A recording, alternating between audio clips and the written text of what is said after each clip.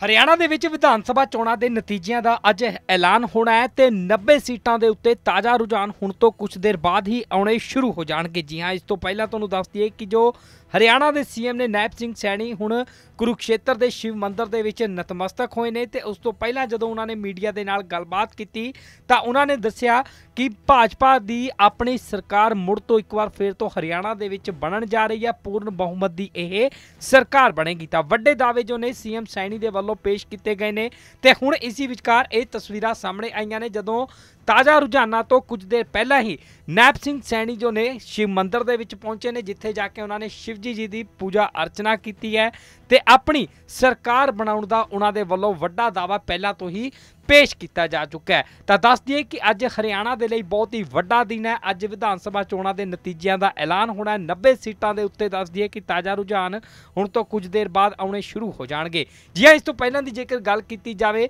ਤਾਂ exit poll ਦੇ ਵਿੱਚ ਕਾਂਗਰਸ ਦੀ ਸਰਕਾਰ ਬਣਦੀ ਦਿਖਾਈ ਗਈ ਹੈ, ਪਰ ਕਿਤੇ ਨਾ ਕਿਤੇ ਭਾਜਪਾ ਇਸ ਨੂੰ ਨਕਾਰਦੀ ਹੋਈ ਨਜ਼ਰ ਆ ਰਹੀ ਹੈ। ਪਰ ਹੁਣ ਇਹ ਤਾਂ ਸਮਾਂ ਹੀ ਦੱਸੇਗਾ ਕਿ ਆਖਰ ਹਰਿਆਣਾ ਦੇ ਵਿੱਚ ਕਿਸ ਦੀ ਸਰਕਾਰ ਬਣਦੀ ਹੈ। ਤਾਂ ਇਹ ਤਸਵੀਰਾਂ ਇੱਕ ਵਾਰ ਫੇਰ ਤੋਂ ਤੁਹਾਨੂੰ ਦੱਸ ਦਈਏ ਕਿ ਕੁਰੂਕਸ਼ੇਤਰ ਤੋਂ ਸਾਹਮਣੇ ਆਈਆਂ ਨੇ ਜਦੋਂ ਸੀਐਮ ਨੈਪ ਸਿੰਘ ਸੈਣੀ ਸ਼ਿਵ ਮੰਦਿਰ ਦੇ ਵਿੱਚ ਨਤਮਸਤਕ ਹੋਣ ਦੇ ਲਈ ਪਹੁੰਚੇ ਨੇ। ਹਰਿਆਣਾ ਦੇ ਵਿੱਚ ਵਿਧਾਨ ਸਭਾ ਚੋਣਾਂ ਦੇ ਨਤੀਜਿਆਂ ਦਾ ਅੱਜ ਐਲਾਨ ਹੋਣਾ ਹੈ ਤੇ 90 ਸੀਟਾਂ ਦੇ ਉੱਤੇ ਤਾਜ਼ਾ ਰੁਝਾਨ ਹੁਣ ਤੋਂ ਕੁਝ ਦੇਰ ਬਾਅਦ ਹੀ ਆਉਣੇ ਸ਼ੁਰੂ ਹੋ ਜਾਣਗੇ। ਜੀ ਹਾਂ, ਇਸ ਤੋਂ ਪਹਿਲਾਂ ਤੁਹਾਨੂੰ ਦੱਸ ਦਈਏ ਕਿ ਜੋ ਹਰਿਆਣਾ ਦੇ ਸੀਐਮ ਨੇ ਨਾਇਬ ਸਿੰਘ ਸੈਣੀ ਹੁਣ ਕੁਰੂਕਸ਼ੇਤਰ ਦੇ ਸ਼ਿਵ ਮੰਦਰ ਦੇ ਵਿੱਚ ਨਤਮਸਤਕ ਹੋਏ ਨੇ ਤੇ ਉਸ ਤੋਂ ਪਹਿਲਾਂ ਜਦੋਂ ਉਹਨਾਂ ਨੇ ਮੀਡੀਆ ਦੇ ਨਾਲ ਗੱਲਬਾਤ ਕੀਤੀ ਤਾਂ ਉਹਨਾਂ ਨੇ ਦੱਸਿਆ ਕਿ ਭਾਜਪਾ ਦੀ ਆਪਣੀ ਸਰਕਾਰ ਮੁੜ ਤੋਂ ਇੱਕ ਵਾਰ ਫੇਰ ਤੋਂ ਹਰਿਆਣਾ ਦੇ ਵਿੱਚ ਬਣਨ ਜਾ ਰਹੀ ਹੈ। ਪੂਰਨ ਬਹੁਮਤ ਦੀ ਇਹ ਸਰਕਾਰ ਬਣੇਗੀ ਤਾਂ ਵੱਡੇ ਦਾਅਵੇ ਜੋ ਨੇ ਸੀਐਮ ਸੈਣੀ ਦੇ ਵੱਲੋਂ ਪੇਸ਼ ਕੀਤੇ ਗਏ ਨੇ ਤੇ ਹੁਣ ਇਸੇ ਵਿਚਕਾਰ ਇਹ ਤਸਵੀਰਾਂ ਸਾਹਮਣੇ ਆਈਆਂ ਨੇ ਜਦੋਂ ਤਾਜ਼ਾ ਰੁਝਾਨਾਂ ਤੋਂ ਕੁਝ ਦੇਰ ਪਹਿਲਾਂ ਹੀ ਨੈਪ ਸਿੰਘ ਸੈਣੀ ਜੋ ਨੇ ਸ਼ਿਵ ਮੰਦਿਰ ਦੇ ਵਿੱਚ ਪਹੁੰਚੇ ਨੇ, ਜਿੱਥੇ ਜਾ ਕੇ ਉਹਨਾਂ ਨੇ ਸ਼ਿਵਜੀ ਜੀ ਦੀ ਪੂਜਾ ਅਰਚਨਾ ਕੀਤੀ ਹੈ ਤੇ ਆਪਣੀ ਸਰਕਾਰ ਬਣਾਉਣ ਦਾ ਉਹਨਾਂ ਦੇ ਵੱਲੋਂ ਵੱਡਾ ਦਾਅਵਾ ਪਹਿਲਾਂ ਤੋਂ ਹੀ ਪੇਸ਼ ਕੀਤਾ ਜਾ ਚੁੱਕਾ ਹੈ। ਤਾਂ ਦੱਸ ਦਈਏ ਕਿ ਅੱਜ ਹਰਿਆਣਾ ਦੇ ਲਈ ਬਹੁਤ ਹੀ ਵੱਡਾ ਦਿਨ ਹੈ। ਅੱਜ ਵਿਧਾਨ ਸਭਾ ਚੋਣਾਂ ਦੇ ਨਤੀਜਿਆਂ ਦਾ ਐਲਾਨ ਹੋਣਾ ਹੈ। 90 ਸੀਟਾਂ ਦੇ ਉੱਤੇ ਦੱਸ ਦਈਏ ਕਿ ਤਾਜ਼ਾ ਰੁਝਾਨ ਹੁਣ ਤੋਂ ਕੁਝ ਦੇਰ ਬਾਅਦ ਆਉਣੇ ਸ਼ੁਰੂ ਹੋ ਜਾਣਗੇ। ਜੀ ਇਸ ਤੋਂ ਪਹਿਲਾਂ ਦੀ ਜੇਕਰ ਗੱਲ ਕੀਤੀ ਜਾਵੇ ਤਾਂ ਐਗਜ਼ਿਟ ਪੋਲ ਦੇ ਵਿੱਚ ਕਾਂਗਰਸ ਦੀ ਸਰਕਾਰ ਬਣਦੀ ਦਿਖਾਈ ਗਈ ਹੈ, ਪਰ ਕਿਤੇ ਨਾ ਕਿਤੇ ਭਾਜਪਾ ਇਸ ਨੂੰ ਨਕਾਰਦੀ ਹੋਈ ਨਜ਼ਰ ਆ ਰਹੀ ਹੈ। ਪਰ ਹੁਣ ਇਹ ਤਾਂ ਸਮਾਂ ਹੀ ਦੱਸੇਗਾ ਕਿ ਆਖਰ ਹਰਿਆਣਾ ਦੇ ਵਿੱਚ ਕਿਸ ਦੀ ਸਰਕਾਰ ਬਣਦੀ ਹੈ। ਤਾਂ ਇਹ ਤਸਵੀਰਾਂ ਇੱਕ ਵਾਰ ਫੇਰ ਤੋਂ ਤੁਹਾਨੂੰ ਦੱਸ ਦਈਏ ਕਿ ਕੁਰੂਕਸ਼ੇਤਰ ਤੋਂ ਸਾਹਮਣੇ ਆਈਆਂ ਨੇ, ਜਦੋਂ ਸੀਐਮ ਨੈਪ ਸਿੰਘ ਸੈਣੀ ਸ਼ਿਵ ਮੰਦਿਰ ਦੇ ਵਿੱਚ ਨਤਮਸਤਕ ਹੋਣ ਦੇ ਲਈ ਪਹੁੰਚੇ ਨੇ।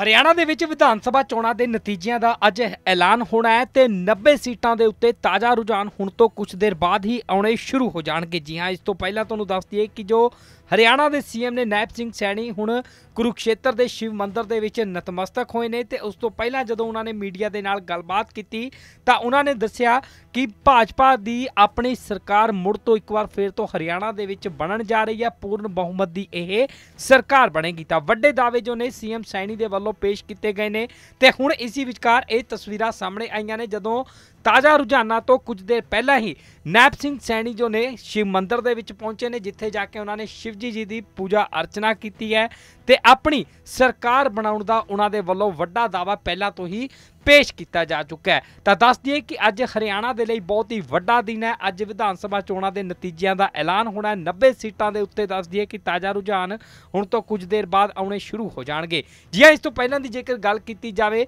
ਤਾਂ ਐਗਜ਼ਿਟ ਪੋਲ ਦੇ ਵਿੱਚ ਕਾਂਗਰਸ ਦੀ ਸਰਕਾਰ ਬਣਦੀ ਦਿਖਾਈ ਗਈ ਹੈ, ਪਰ ਕਿਤੇ ਨਾ ਕਿਤੇ ਭਾਜਪਾ ਇਸ ਨੂੰ ਨਕਾਰਦੀ ਹੋਈ ਨਜ਼ਰ ਆ ਰਹੀ ਹੈ। ਪਰ ਹੁਣ ਇਹ ਤਾਂ ਸਮਾਂ ਹੀ ਦੱਸੇਗਾ ਕਿ ਆਖਰ ਹਰਿਆਣਾ ਦੇ ਵਿੱਚ ਕਿਸ ਦੀ ਸਰਕਾਰ ਬਣਦੀ ਹੈ। ਤਾਂ ਇਹ ਤਸਵੀਰਾਂ ਇੱਕ ਵਾਰ ਫੇਰ ਤੋਂ ਤੁਹਾਨੂੰ ਦੱਸ ਦਈਏ ਕਿ ਕੁਰੂਕਸ਼ੇਤਰ ਤੋਂ ਸਾਹਮਣੇ ਆਈਆਂ ਨੇ, ਜਦੋਂ ਸੀਐਮ ਨੈਪ ਸਿੰਘ ਸੈਣੀ ਸ਼ਿਵ ਮੰਦਿਰ ਦੇ ਵਿੱਚ ਨਤਮਸਤਕ ਹੋਣ ਦੇ ਲਈ ਪਹੁੰਚੇ ਨੇ।